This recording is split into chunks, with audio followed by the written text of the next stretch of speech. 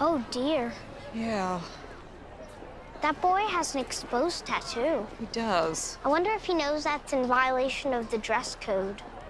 Speaking of which, how about we lose the bow tie? Why? Look around, honey. None of the other kids are wearing one. Well, perhaps I'll start a fad. No, you won't. Please trust mommy. All right, tell you what. You take it off, and this weekend, I'll take you to Radio Shack. You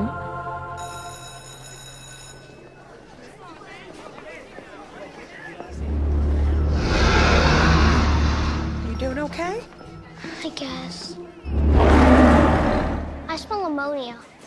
They must have done a thorough cleaning recently. I like that.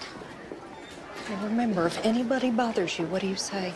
My dad's a football coach. And? My brother's a football player. Good. Hey, Mom, look, that girl's pregnant. Congratulations.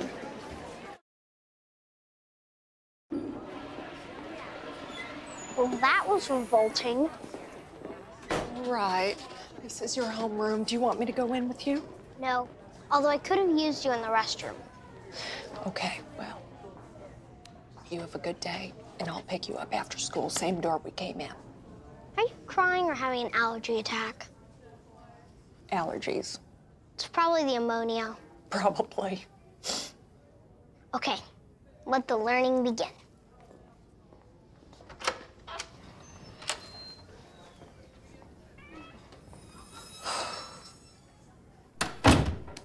All right, everybody. My name is Ms. McElroy. In addition to being your homeroom teacher, I'll be seeing some of you in my English class and some of you on the volleyball court. Just to give you a little history, I've been here at Medford for 29 years. I taught some of your older brothers and sisters, and sadly, some of your parents. Not much I haven't seen until today. I'm sure you're well aware we have a student with us who, despite his young age, is remarkably gifted. And I expect y'all to make him feel welcome. Yes, Sheldon? Per the student dress and grooming code, this boy's hair is too long. This boy is wearing sports attire outside of a designated area, and this girl's blouse is diaphanous, which means I can see her brassiere. Thank you. I will take that into account. All right. We have a few minutes before first period. I need y'all to fill out these forms. What? Also, in violation of the grooming code, on page 48, Article 5, subsection B, you have a bit of a mustache.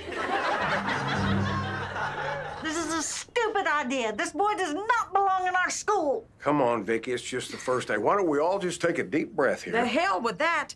Five minutes into my math class, he questioned my credentials. How am I supposed to control a classroom when a kid accuses me of being in breach of the hygiene code? Well, Hubert, it wouldn't kill you to shower a little more often. George, you want to weigh in here? Well, Oral Roberts University is a wonderful school. He said I was intimidated by his intelligence, and then